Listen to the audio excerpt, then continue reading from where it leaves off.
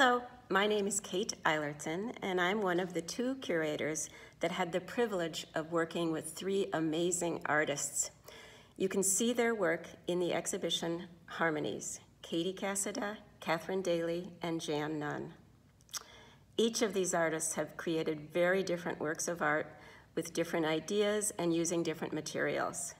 We titled the exhibition Harmonies because together their art sings a beautiful mel melody. In Katie Cassada's work, you see such movement, such dance in her large, colorful sculptures. Catherine's multimedia works invite us to look to the sky, to see something new, and Jan's provocative pieces beg us to look inside of ourselves and see what we can find there. Anita Wigglesworth, my co-curator, and I invite you to read what they have to say and see what they have created. We know you'll not only enjoy the sculptures, but also learn something new. At least we hope so.